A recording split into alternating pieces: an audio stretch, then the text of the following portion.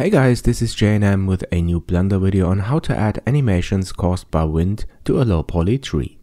Let's select and duplicate this one here and move it to a new layer.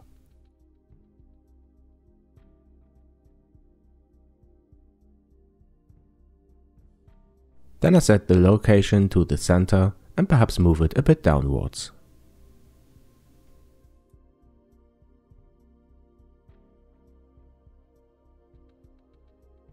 Okay, now I press Shift and A key to add a single bone, also at the center, and I enable X-ray for it, so that we can see it through the tree. After that I switch to edit mode, select the bone's tail and move it upwards, like this. Then I select the whole bone and press W to subdivide it two times. Now I have four bones and I move these two bones downwards and subdivide the third bone again. And I think we can go with that.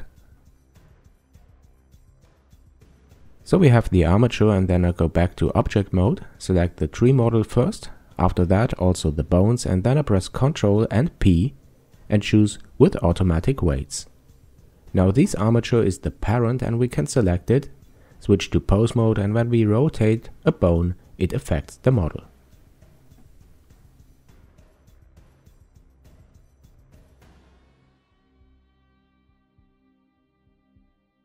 Okay, this works, but I undo this now. And then I open a new window and select the dope sheet for it. And here I use the action editor. I add a new action. This will be our animation and I call it wind.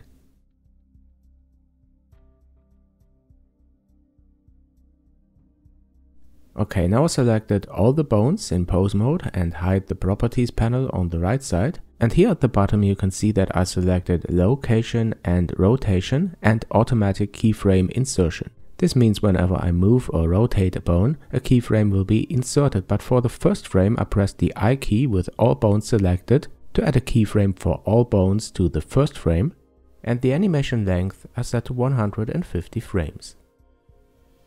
Then I select the last frame, frame 150, and also insert here a keyframe by pressing the I key. And I do this because we are creating a looping animation with the same start and end frame.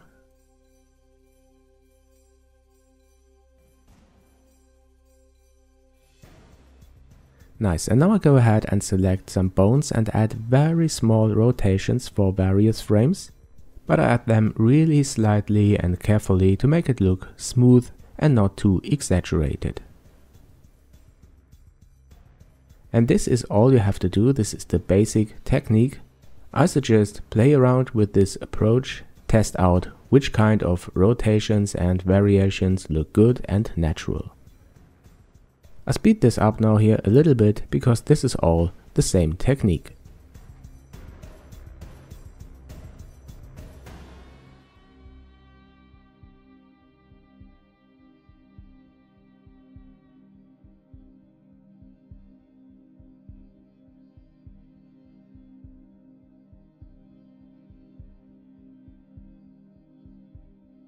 Okay, and once you're done or you want to test your modifications, you could press the H key to hide the bones so that they don't disturb while watching the animation. You can unhide the bones again, by the way, by pressing the Alt and H key. And that's it for the wind effect. In the next part I will show you how to export and use this in Unity and my free low poly game kit. If you want to support the asset and this channel, please think about being my patron, this would really help a lot. Thanks for watching, don't forget to subscribe and see you soon here on Jayanam.